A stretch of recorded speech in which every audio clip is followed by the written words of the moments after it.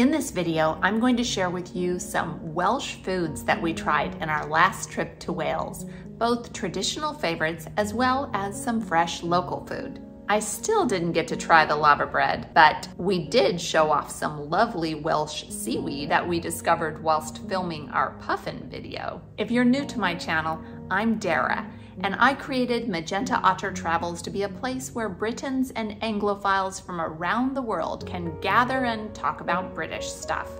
And I love food, so it's a topic we frequently discuss.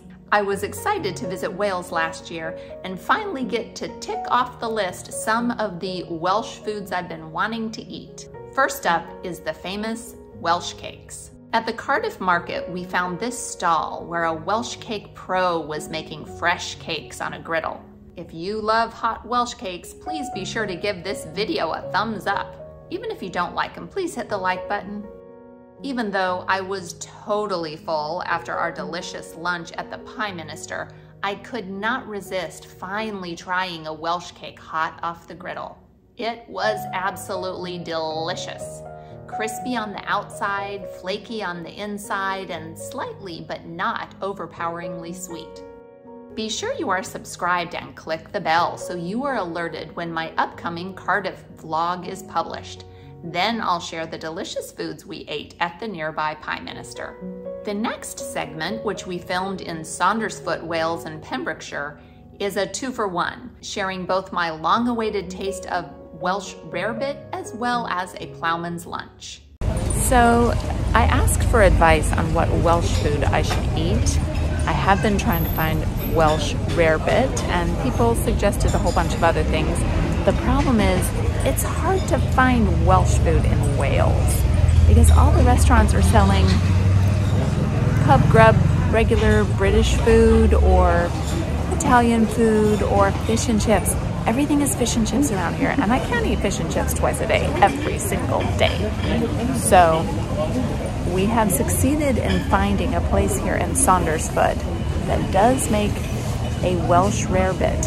I had no idea how rare a Welsh rarebit would be, but allegedly they have it here, but um, they're fully booked, so we're just loitering outside for 20 minutes, hoping we can eventually get a table cheesy lunch here. Here is Ian's Ploughman's with Welsh cheese and pickled onions. Yum, yum. And here is my Welsh rarebit with a salad garnish. I am looking forward to trying this. It smells delicious. The Welsh rarebit was very tasty. What's not to love about toasted cheese and Ian is also enjoying his Plowman's, which has the Welsh cheeses. It's a Welsh cheddar and a red dragon cheese. In our visit to gorgeous Tenby, watch the upcoming vlog of that lovely coastal town, I wanted to eat local seafood. We really wanted to have seafood, so we ordered the local crab tian, which comes with avocado and mango, and then these king scallops, which sounded so good because they come with burnt apple puree and pancetta. And then we've got some garlic bread and mixed vegetables.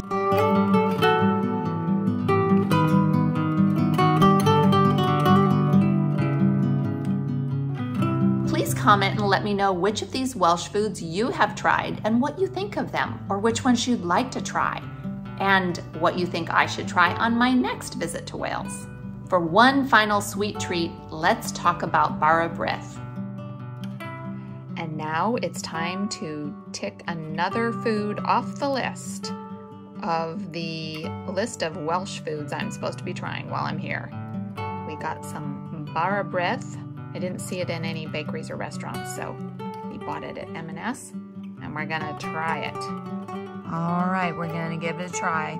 I'm gonna put more butter on it after I've photographed it, but you know, it's not gonna look pretty once all the butter is smashed into it. I liked this Bara Brith. It reminded me of some lovely tea bread I had in the Lake District overlooking Lake Windermere. I enjoyed the moist texture and the fruity flavor of the Bara Brith, But because of the spices, I think I would have enjoyed it more if it had been freshly made instead of packaged and bought off a shop shelf. I hope you enjoyed this wee compilation of Welsh foods. Please stay tuned to all the other videos in my Wales eight-part video series. Thanks so much for watching and do something good in the world today.